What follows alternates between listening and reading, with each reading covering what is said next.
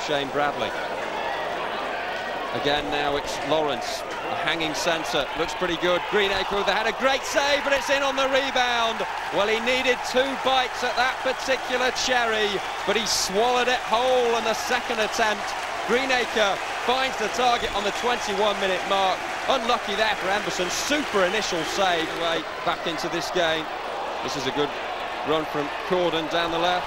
Round one man, round another. Great work from Corden. There's Greenacre. What a predator he is. He picked himself up, he dusted himself down, and he dispatched that one inside the six-yard box. All credit to Corden. Wonderful run, and Greenacre puts it away. It's Pemberton, floats one, oh, delicious from Pemberton. A swirler, a curler, an absolute perler. Pemberton delightfully done. Rampant at Field Mill. 1-6, drawn one, lost one at home.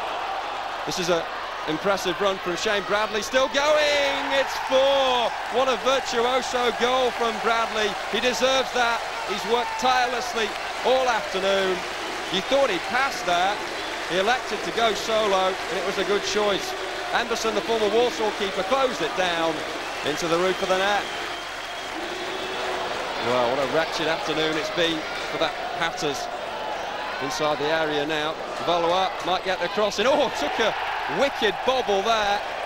And Dean Crowe has his goal. Six in seven games now for him.